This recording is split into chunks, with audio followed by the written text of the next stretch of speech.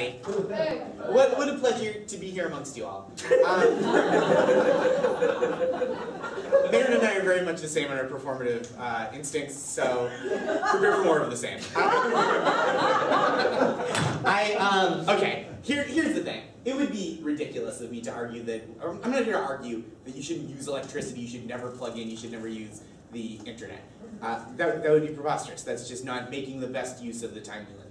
Uh, that would be Amish, and nobody wants that at all. The Amish, someone recently told me that the Amish, for fun, all they do is they play mini golf, which seems like if there's a windmill, shouldn't be allowed. And the Amish play a pickup basketball, uh, which they divide the teams into shirts and thicker shirts. That's how they do that. But I'm not here to be Amish. And this, so let's let's get into it. Um, this unplugged a presentation by Josh Gondelman. That's good branding.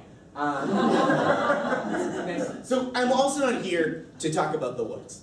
Uh, I'm not here to say we should unplug and go into the woods because that's not what anyone wants, right? That's that's not why we're in New York City to live our lives. That'd be a, a failed argument to the wrong, uh, falling on deaf ears.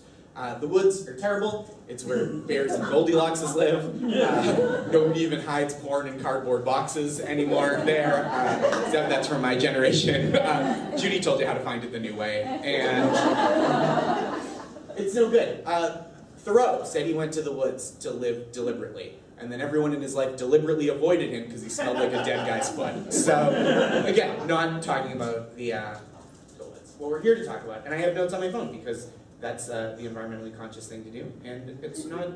Again. So I guess being wired is environmentally conscious. That's I have Uh, words in there. How's that coming out? They were right.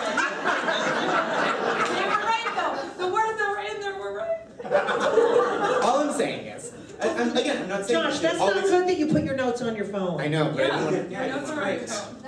Well, Those are the words I was trying to find. Thank you for picking them up. There's a lot of turncoats tonight, and I feel like these teams are going to be totally jumbled by the end of the evening. And this Uptown Showdown will end, as every Uptown Showdown, do, showdown does, with Mehran fucking someone's dad. So like, I'm not going to say which dad, but someone's dad. That's just a tradition. Watch out. If you've never been before, that's just how they all end. Uh, so, last week, my phone broke, and, and it just didn't work for a week. And here's what happens when you can't, when you're on a phone. Nobody could call me, nobody could text me. I could only email on my computer, and I wasn't on social media. And I will tell you, that changed my perspective on things. Because I expected, like, oh, maybe um, with a week off the grid, I'd feel a little more relaxed, a little less stressed. And, and, uh, and that didn't happen, I'll be honest. What happened was, uh, I was out without my phone for a week, and I felt like I was dunking a basketball in space while on heroin and coming the whole time. So it was incredible. It was incredible. I also used um, that's the Flaming Lips. They're not on heroin anymore. They stopped, but they were better when they were on heroin. Um, let's keep going. The uh, the best things about the internet, right? Because there are good things. That's what I'm here. I'm not here to deny that. The best things are it makes the world a small community.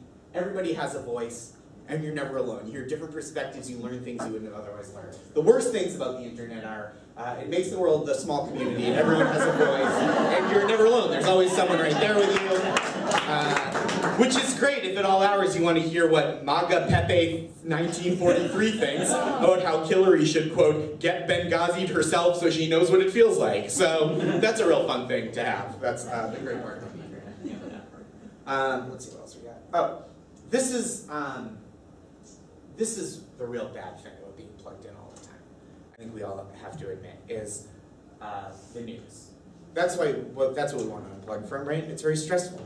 Uh, there, there's just always the news, and it's it's news alerts constantly. I get New York Times news alerts all day, and it's never the news alerts I want.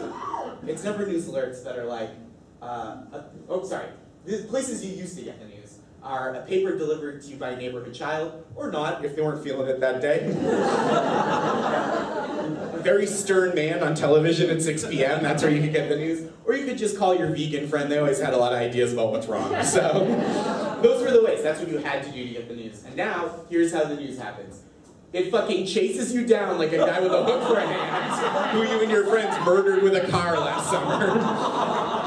And then, once you see that there's news, right, you aren't just like, oh, New York Times alert. Oh, uh, uh, Trump ate his own thumb to show dominance over Kim Jong Un. You aren't just like good to know. You go online and you just shotgun the rest of the news into your face like a PBR made of information you don't actually want.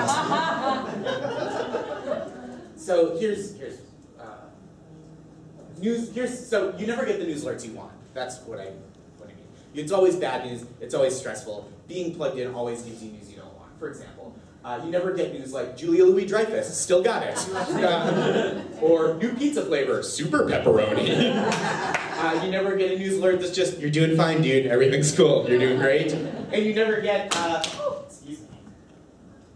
Too plugged in. You never get a news alert that's just like Shawshank's on TNT. It's the scene on the roof right now, uh, which is a news alert that I. These are the only news alerts I'm subscribed to. I don't know what you're talking about. What, what, who sends you that? Well, I just made it myself. You can find a lot of things on the internet. But here, are the news alerts- here are the news alerts that you always get. It's always President Trump tries to fight Mount Rushmore. Or North Korea inches somehow slightly closer. Or Scott Pruitt names oil spill deputy EPA director. Or the one I'm looking forward to soon, look out Jews, that's how it's coming. And I'll tell you what, you This might, guy knows his audience.